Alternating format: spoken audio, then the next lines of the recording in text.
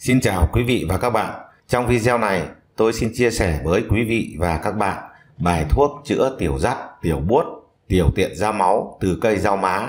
Bài 1 chữa tiểu tiện ra máu, rau má và ích mẫu, mỗi thứ một nắm, rửa sạch, giã nát, vắt lên nước uống. Bài 2 chữa tiểu rắt, tiểu buốt do nóng, rau má 40g, nõn tre 40g, giã nát với vài hạt muối, gạn lấy nước uống. Mời quý vị và các bạn xem chi tiết về cây rau má.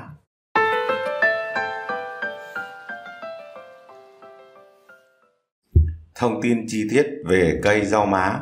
Cây rau má còn có tên gọi khác là tích tuyết thảo, liên tiền thảo, địa tiền thảo, mã đề thảo, não công căn, khẩu uyển, thổ tế tân, bán liên nguyệt, đại diệp, kim tiền thảo, hồ quả thảo, nục địa mai hoa, đại diệp thương cân thảo.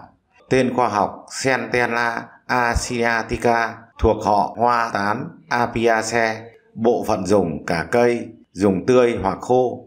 Thành phần hóa học chính của rau má là sapolin, tinh dầu, alkaloid, flavonoid, chất đắng. Theo y học cổ truyền, rau má có vị đắng, cay, hơi ngọt, tính hàn, vào ba kinh can, tỳ và thận có công dụng thanh nhiệt, giải độc, nội tiểu, tiêu viêm, sát trùng, cầm máu, dùng làm thuốc giải nhiệt, thông tiểu, chữa sốt, sởi, cảm, chảy máu cam, vàng da, mụn nhọt, mẩn ngứa. Sau đây là các bài thuốc có rau má, chữa tiểu tiện da máu, rau má và ích mẫu, mỗi thứ một nắm, rửa sạch, giã nát, vắt lấy nước uống, chữa đái dắt, đái buốt do nóng, rau má 40g, nọn tre 40g, giã nát với vài hạt muối, gạn lấy nước uống, chữa viêm bảng quang cấp tính, rau má 12g, bồ công anh 20g, mã đề 16g, thài nài tía, chi tử, dâu ngô, mộc thông, cam thảo dây mỗi vị 12g, sắc uống ngày một thang, chữa vàng da do thấp nhiệt, rau má 30 đến 40g, đường phèn 30g, sắc uống chữa viêm gan vàng da, rau má tươi 100g, nhân trần hoặc bồ bồ 30g, chi tử 30g, vàng đắng 3g, sắc uống ngày một thang, chữa rôm sảy mẩn ngứa, giải nhiệt mùa hè, giúp mát gan lợi tiểu, dùng 50g rau má rửa sạch giã nát, vắt lên nước, thêm một ít đường hoặc một ít muối cho dễ uống, chữa nở nét ống chân, rau má tươi giã nát, đắp lên vùng tổn thương, chữa mụn nhọt, rau má và lá gấc mỗi vị 50g rửa sạch, giã nhỏ, cho ít muối vào và trộn đều, đắp lên chỗ đau rồi băng lại, ngày thay thuốc hai lần, đắp cho đến khi khỏi. Chữa cảm nắng, khát nước nhức đầu, đái đỏ, trẻ em gầy khô, da nóng. Bài 1. Rau má, rau sam mỗi vị 50g, giã nhỏ, thêm một chén nước nguội, chắt lên nước uống. Bài 2. 30g rau má tươi, rửa sạch, giã nát, thêm một ít nước nguội, vắt lên nước rồi hòa vào 10 gram bột sắn dây, thêm đường để uống. Bài 3. Rau má, rau sam, sắn dây mỗi vị 30 gram sắc uống. Chữa bệnh sởi, rau má 30 đến 60 gram sắc uống. Chữa áp xe vú, giai đoạn đầu, rau má và quả cau lượng bằng nhau sắc uống. Nên pha với một chút rượu thì càng tốt.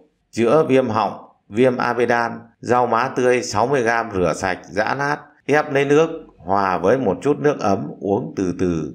Lưu ý, rau má có vị đắng, cay, hơi ngọt, tính hàn, nên tránh lạm dụng rau má khi cơ thể ở trạng thái hư hàn, không dùng khi bị tiêu chảy. Khi sử dụng rau má, bạn nên ăn thêm một nát gừng để làm ấm bụng và trung hòa tính hàn của rau má Mỗi ngày mỗi người có thể dùng một cốc rau má tương đương với khoảng 40 gram, nhưng cũng không nên dùng quá một tháng. Nếu muốn dùng đợt sau thì phải nghỉ tối thiểu nửa tháng rồi mới dùng tiếp. Không dùng nhiều trước và trong khi mang thai vì trong ờ, rau má có khả năng gây làm giảm khả năng thụ thai và có thể dẫn đến sảy thai. Ích mẫu được dùng làm thuốc chữa bệnh từ lâu đời, nhất là đối với phụ nữ sau khi đẻ, chữa rong kinh, rong huyết, tử cung co hồi không tốt, rối loạn kinh nguyệt, kinh bế, đau kinh, khí hư bạch đới quá nhiều. Ngoài ra, Cây ích mẫu Cây ích mẫu còn có tên gọi khác là sung úy, chói đèn, nàm ngài, xác giếng dân tộc Tày, dạ ninh no dân tộc Thái. Ích mẫu có tên khoa học là Neonurus artemisia thuộc họ Bạc Hà, Namiaceae. Bộ phận dùng của cây ích mẫu là phần trên đất của cây ích mẫu gọi là ích mẫu thảo và quả ích mẫu gọi là sung úy tử.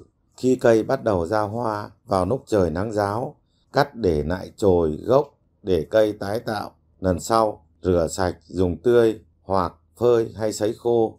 Trong y học cổ truyền, ích mẫu được chế biến như sau. Thứ nhất là ích mẫu cắt đoạn, lấy ích mẫu tươi hoặc phơi hay sấy khô bỏ rễ, cắt đoạn 3 đến 5 cm, phơi khô.